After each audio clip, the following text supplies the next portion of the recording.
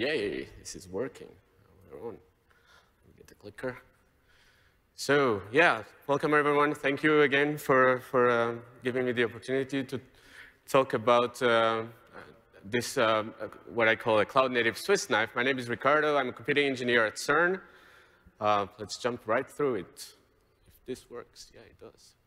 All right, so I'm from Switzerland. Like CERN is based in Switzerland. So one common thing that we see everyone carries often is a Swiss knife. Uh, it's a handy tool. Um, it was actually created more than 100 years ago. And it was, the description that I found was that uh, it was a tool that allowed people to, or soldiers in this case, open canned food and maintain the Swiss service rifle. So two very different things, but two things that a group of people had to do uh, often uh, when they were in service. So this became really popular uh, to the point that the, the, company that was building them started adding new tools. People had ideas, let's put more things in, and they started producing different variations of, of the Swiss knife. And this was variations that would suit different types of individual users. So you can see kind of where I'm getting here, like you have uh, a lot of tools available, but you also have users that will have different needs and they will need to package things differently. So on the left here, we have the original Swiss knife. The, in the middle, we have a modern version of the Swiss knife, which is pretty much similar to, to the first one. But then on the right, we have a very different Swiss knife. It's something like from the blades and the, the, the tools to open canned food, suddenly we have a laser pointer, we have a USB stick, some sort of scissor, and someone actually thought it was a good idea and practical to carry that. So they built it, and you can get it. Of course, some people are a bit more uh, demanding, so this is another Swiss knife. And suddenly you have a lot of tools.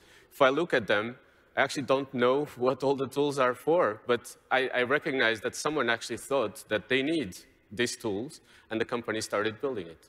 So you can maybe see like a magnifying lens, some scissors, and some sort of uh, cutting tool, and someone needs it. It's not the knife that I would carry, but it's something that someone, someone needed. Now, this can go a bit too far.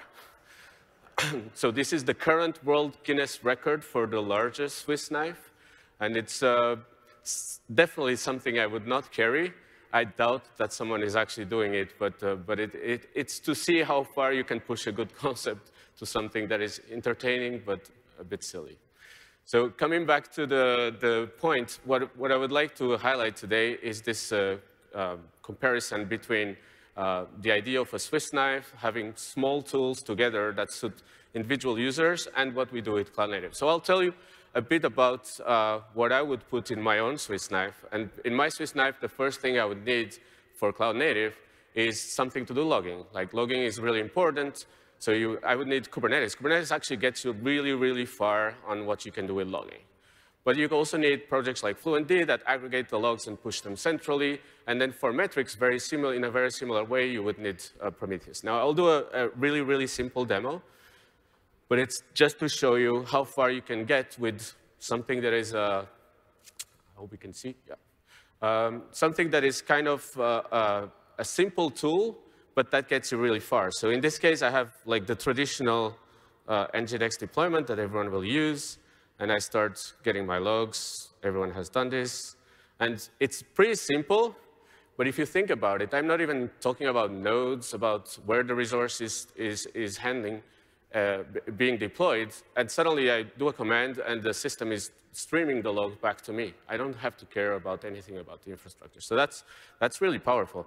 But one thing that is even more powerful is that if we actually look at what's possible with this command, you don't even need to specify a pod or resource. You can actually say the kind of resource you want to stream logs for. So the example here, I'm using a label instead of specifying the, the, the pod I want to, to, to get logs from. And suddenly, like, you, you start seeing quite a lot more logs coming. And suddenly, you, you, if you think about it, the system is hiding all the complexity for you. It's streaming the logs. You don't have to give any details about the infrastructure. And this is incredibly powerful. And it's something that every time I, I explain this command to someone, it, it's something that uh, kind of comes back to me uh, uh, on the simplification from previous systems I had to deal with. Now, the second thing that I put on my Swiss knife is also uh, debugging tools. And again, Kubernetes gets you a long way. And debugging is kind of hard in Kubernetes, but I think the reason is one of the best things about containers and Kubernetes and cloud native, which is reproducibility. When we deploy our applications, we create container images, they are immutable.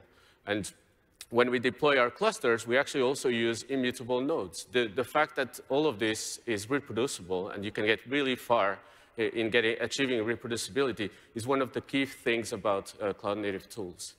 Now, when I started using Kubernetes, this was actually quite hard to do, uh, to handle.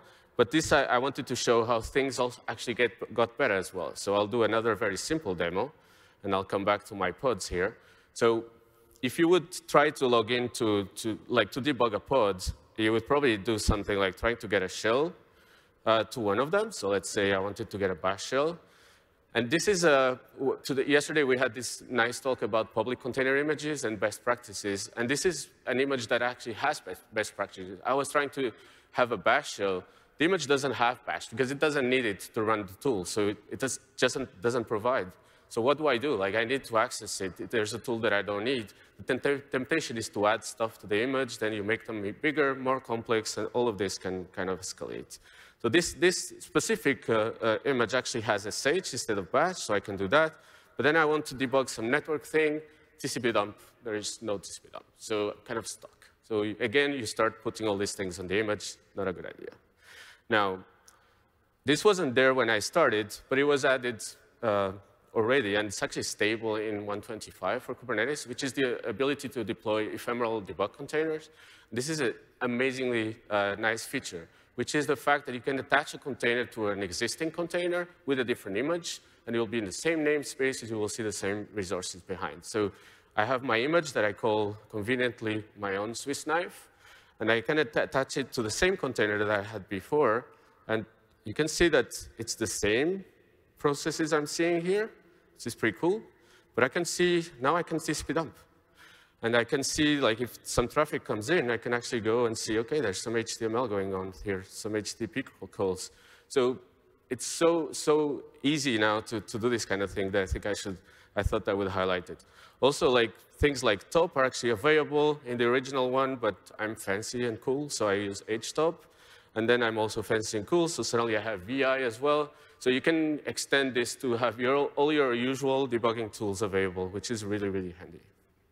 Now, the other part that I mentioned here is hot reloading. This is the other uh, complex part, which is the development cycle that people are used to is not necessarily easy to do with the cloud native deployments, or wasn't, uh, because when you do changes, you have to rebuild images, redeploy, and, and this can be a lengthy project, a process.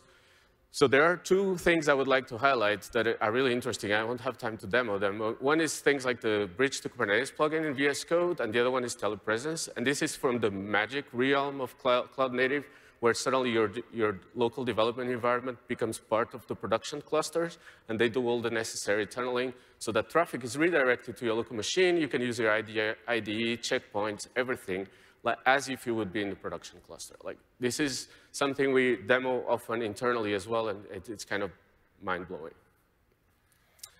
Now, the next thing, again, I highlighted the talk yesterday about public container images. I really like it. Um, this is one of the issues we've had in the past couple of years, which is image handling. So we heard yesterday uh, the state of the, how much work and challenges we have to improve this. But I list here two of the common uh, popular images, Alpine and Ubuntu. There are 30 megabytes, maybe let's say 100 megabytes. Who in here, raise your hand if you had to, had to handle an image that is 100 megabytes or more? All right, pretty much everyone. I was expecting that. So this is, in, in, in reality, we have images that are quite, quite a lot bigger. So I give an example here. We have this ADM admin image that we use for, again, handy tools that we need. And we started growing it. So we now are now close to, to one gigabyte. So it's kind of time to think, should we make it smaller? Should we, should we split it? Which is all good things. But who in here has had to use an image that's one gigabyte or more? Raise your hand. All right, still quite a lot of people. Um, now, I'll jump right through it. Who in here has had to handle an image that is 19 gigabytes or more? One, two? All right? Yeah, a lot less. We actually have these images running on our clusters, and, and there is a reason for that. Uh, the example here is from, a, from an image from an experiment called Atlas, which is one of the LHC experiments. The way they are used to deploying their software is they have a central repository where they build and make everything available, all the releases, and they have a very efficient way to distribute code uh, across the nodes in distributed clusters. When we moved to containers, uh, the obvious option was just to containerize all of this. And there's actually no easy way to split it because the jobs got used to having one single place where all the software is available, and they access just what they need.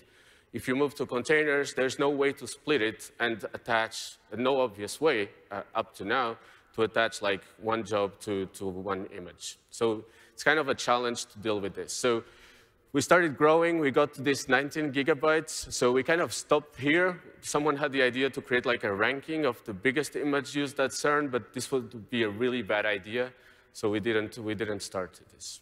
So this is where we are. Well, actually, it's not. It's, we have one record now, which is like two weeks ago, someone actually started using an image that is 76 gigabytes compressed, 125 gigabytes uncompressed. So who in here has an image that is 76 gigabytes? All right, that's good. That's good. You don't want to do this. But actually, this, I want to highlight this because there is a use case for this. Like Cloud Native is not about microservices only anymore there are so many different use cases for cloud native that you, people will come up with these ideas. So the problem here is really like if you have all these images deployed in hundreds, thousands of nodes, and you start pulling it, you're basically doing a denial of service in your registry, and you're putting the network under a lot of pressure. So we can fix this in mo most cases, we can fix it. And uh, one, one suggestion that, uh, that we have is from our head of computing security at CERN, Stefan, that is here in the picture. And the way he deals with security and users is he uses three tools. The first one is the baseball bat, and the baseball bat is for negotiation tactics. The second one is a water pistol. The water pistol is to kill servers in the data center because a dead server is pretty secure.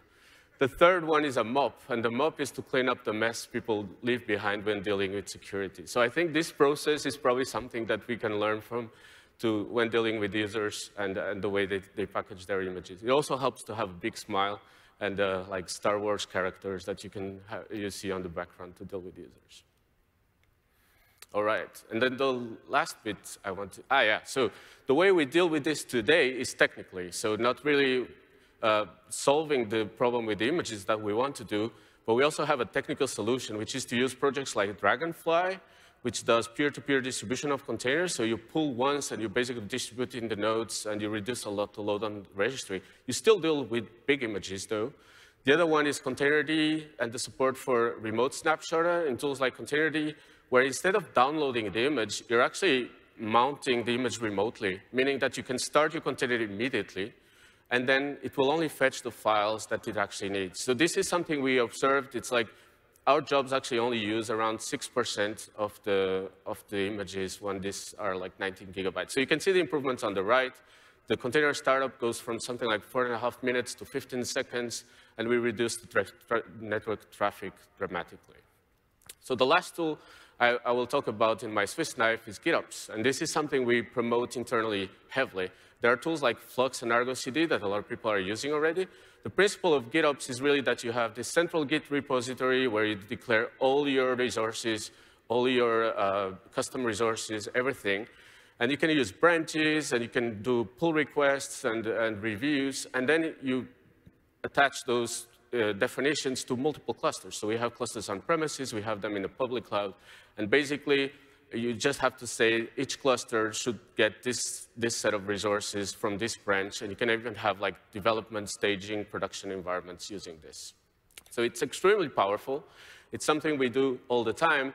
It also allows us to do what we call clusters as cattle, which is instead of having one big cluster where you put everything, it becomes really easy to have multiple clusters and spreading the application across multiple clusters. Uh, and this is really beneficial. So I'll give you an example of uh, how this is beneficial. I hope this is readable. So back in earlier this year, just before KubeCon Valencia, we actually had a, an incident at CERN. Someone posted in our internal chat saying, is there anything wrong, going wrong with the registry? The UI is failing on me, which is, okay, let's see.